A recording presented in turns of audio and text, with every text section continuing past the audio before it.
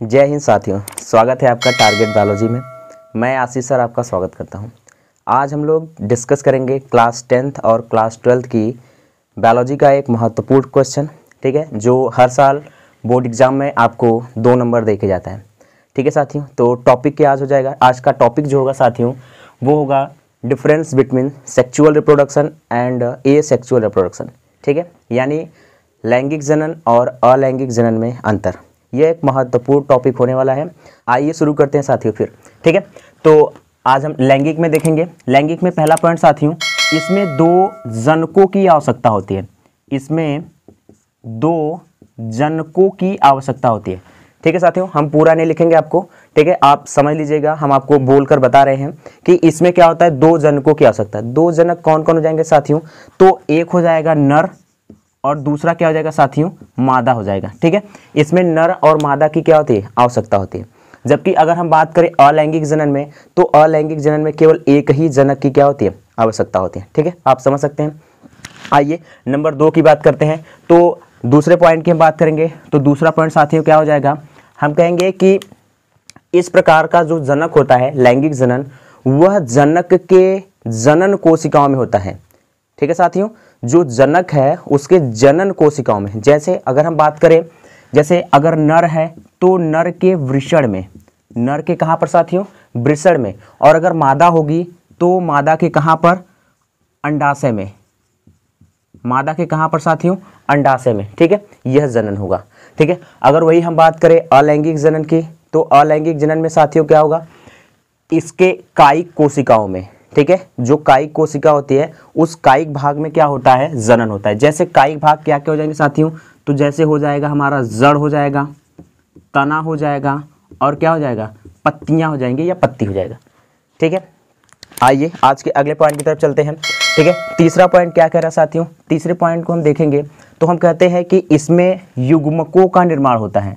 किसका निर्माण होता है? युग्मकों का निर्माण होता है। वह निषेचन होता है। वह क्या होता है साथियों? निषेचन होता है। युग्मकों का निर्माण होता है और क्या होता है? निषेचन होता है।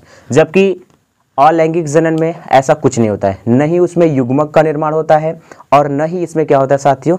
निषेचन क्रिया होती है। ठीक है? आई होप इतनी बातें आपको समझ में आ रही हैं। आइए अगले पॉइंट की तरफ़ चलते हैं। अगला पॉइंट क्या कर साथियों? नंबर चार पॉइंट क्या कर नंबर चौथा पॉइंट कह रहा है कि अलैंगिक जनन जो होता है अलैंगिक जनन में, अर्धसूत्री विभाजन और समसूत्री विभाजन।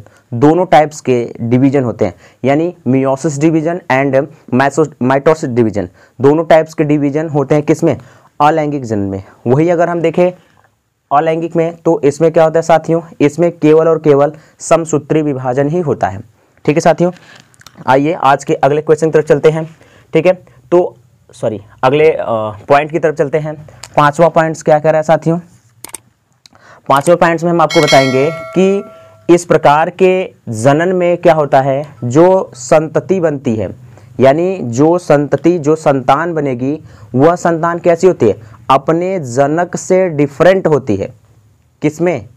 अलैंगिक जनन में अगर हम सॉरी लैंगिक जनन में सॉरी लैंगिक जनन में अगर हम देखेंगे तो जो संतति बनती है, वो कैसी होती है?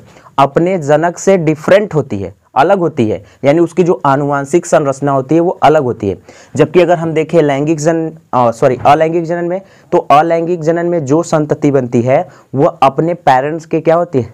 समान होती है। जैसे हम आपको दिखाएँ, जैसे हम क्या कर रहे हैं, हमने गुलाब का एक प्लांट लिया, हमने इसमें कलम लगाया और हमने इसको ज़मीन में ग्रो करा दिया तो आप देखेंगे जो संतति बनेगी वो कैसी होगी? गुलाब जैसा ही होगा। यानी जो आनुवांशिक संरचना इसके पेरेंट में थी, वही आनुवांशिक संरचना किसमें है? इसके संतति में है।